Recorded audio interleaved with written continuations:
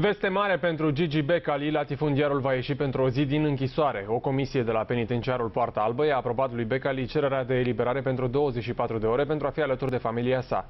Între timp, astăzi, Becali a avut prima zi de muncă. Acesta muncește alături de alți 22 de deținuți la Academia Gică Hagi din localitatea Ovidiu, iar la fiecare patru zile muncite îi se scade o zi din pedapsă.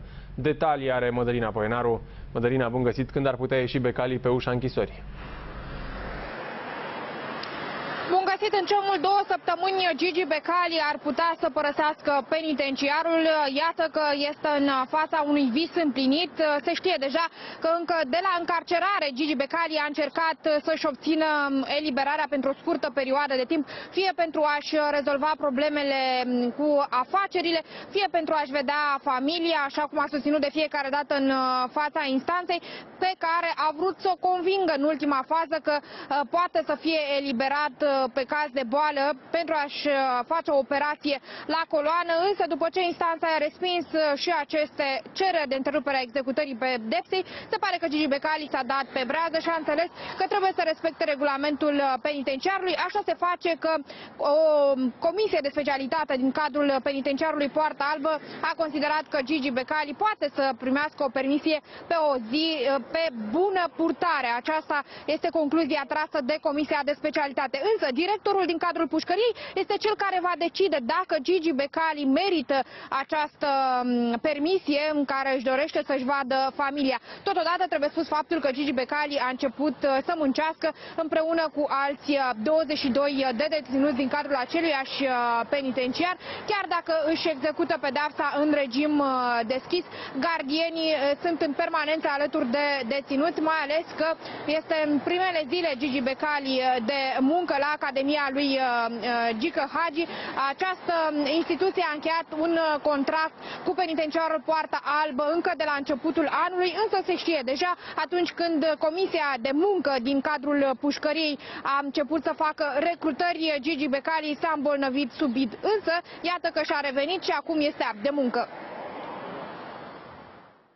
începe să se aplice și să, inter, să se interpreteze corect legea. Uh, legea de executare a pedepselor, 254, prevede, așa cum am spus de multe ori, în mod expres, dreptul, sau mai bine spus, posibilitatea luată ca pe o recompensă uh, deținuților, mai ales a celor care sunt încadrați în regimul deschis de executare a pedepsei, de a avea uh, de la o zi până la 10 zile permisie pentru a păstra relația, legătura cu familia ea trebuie să fie admisă și s-a încuvințat sigur această permisie. Gigi Becali n-a reușit să obțină întreruperea pedepsei de 3 ani și jumătate, iar nașul său, Gică Hagi, i-a întins o mână de ajutor. Academia de fotbal a lui Hagi a solicitat penitenciarului un număr de deținuți pentru diverse munci încă de la începutul acestui an. Becali nu a fost selectat însă în primul lot de condamnați care au ajuns să muncească în cadrul Academiei din Ovidiu. A avut răbdare, iar în cel de-al doilea lot, norocul i-a surs. În ceea ce privește dreptul la muncă, este un drept de data aceasta garantat. Discutăm de un deținut care execută în sistemul deschis